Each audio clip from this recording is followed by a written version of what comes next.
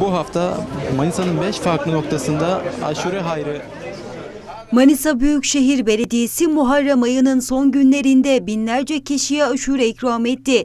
Manisa Büyükşehir Belediye Başkanı Cengiz Ergün, geleneksel hale gelen aşure hayırları kapsamında ilk olarak Alaybey Pazar yerinde vatandaşlarla bir araya geldi. Cuma günü yani bugün e, düzeltiyorum dün 15 Temmuz Demokrasi Aşure dağıtımında Başkan Ergün'e MHP MYK üyesi Mehmet Ödevli, Milliyetçi Hareket Partisi İl Başkanı Murat Öner, MHP Şehzadeler İlçe Başkanı Şener Özten, KAÇEP Başkanı Neşe Meteler Töz, Manisa Büyükşehir Belediyesi Başkan Danışmanı Nursel Usta Mehmetoğlu'yla daire başkanları eşlik etti.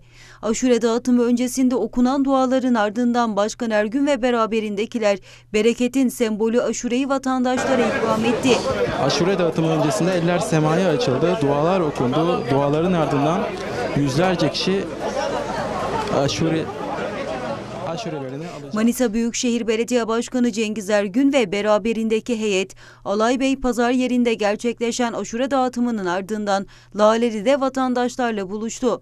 Laleli Pazar yerinde yapılan aşure hayrına Manisa Büyükşehir Belediye Meclisi MHP Grup Başkan Vekili Mehmet Güzgülü, Teftiş Kurulu Başkanı Ahmet Türküler, MHP Yunus Emre İlçe Başkanı Cemal Kutlar, Manisa Şoförler ve Otomobilciler Odası Başkanı Salih Karaağaç da katılım sağladı. Aşurelerinden alıyorlar. Oldukça keyifli anlar da yaşanıyor aşure etkinliklerinde.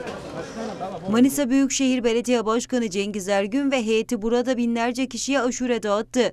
Yapılan hayır öncesi bir konuşma gerçekleştiren Başkan Ergün, aşure hayırlarının Allah katında kabul olmasını temenni etti.